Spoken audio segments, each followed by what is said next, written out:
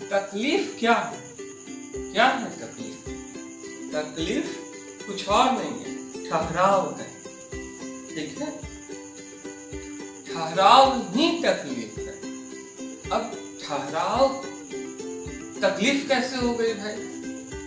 तो इसको जरा समझने की कोशिश कीजिएगा तो आप पाएँगे कि जो आपकी पोटेंशियलिटी है, आप ठहराव की स्थिति में उससे समझौता कर लेते हैं। जब आप क्रोधित होते हैं तो आपकी विकास की गति ठहर सी जाती है।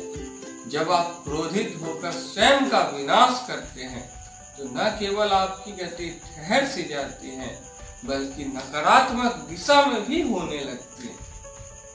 तो ये तो आपकी जो चारित्रिक ठहराव है, उसको भी प्रभावित करती है।